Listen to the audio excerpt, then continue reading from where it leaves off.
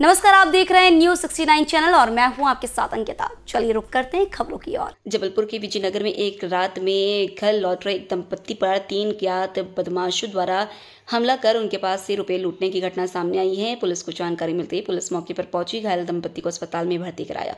Police ने पीड़ित की शिकायत पर तीन अज्ञात युवकों के खिलाफ मामला पंजीबद्ध किया पुलिस ने बताया कि विजयनगर में रहने वाले शरद मौर्य, अपनी पत्नी अंशु मौर्य के साथ मोटरसाइकिल पर घर लौट रहे थे। विजयनगर के पास तीन बदमाशों ने उनकी मोटरसाइकिल को कट मारी। शरद ने रास्ता बदला और दूसरे रास्ते से ही जाने लगे। बदमाशों ने उनका पीछा किया और उन पर चाकू से हमला कर उनके पास रहे। पाँच हज़ार रुपए लूट कर फरार हो गए। इस घटना में शरद की पत्नी अंशु भी घायल हुई हैं। थाना प्रभारी वीरेंद्र सिंह पवार ने बताया कि पुलिस अज्ञात बदमाशों की तलाश कर रही है। जल्दी गिरफ़्तार कर लिया जाएगा। जबलपुर से न्यूज़ सिक्सटी नाइन के लिए वाजिद खान की रिपोर्ट। आपको बताना चाहेंगे।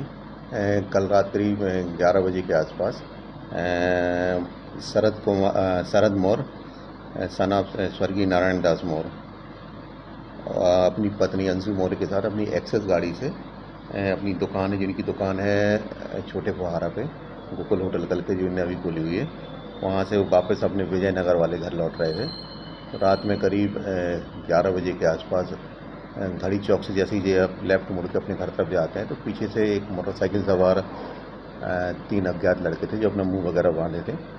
इनके द्वारा इन्हें रोका जाता है, नहीं रोकने पे इन्हें एक बार कट मारा गया फिर आगे जाके जैसे इनने अपना रास्ता चेंज किया तो इनकी गाड़ी में पीछे टक्कर मार के इनके ऊपर हमला कर दिया। जिससे इनके पैर में चाकू तीन चार जगह चाकू लगे हुए हैं। इनकी पत्नी को भी हल्की चोट आई थी और इनके जेब में रखे हुए करीब चार पाँच हज़ार रुपये छुड़ा के भाग गए हैं। जिसमें से चूँकि पुलिस भी राउंड पे थी तो तत्काल पुलिस भी मौके पर पहुँच गई कि भतीजी ने सैली अस्पताल में एडमिट कराया था।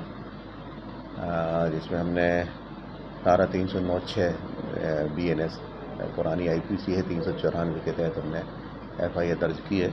और आज से ही हमारी टीमें लगी हुई हैं आसपास के कैमरों की फुटेज निकालने के लिए।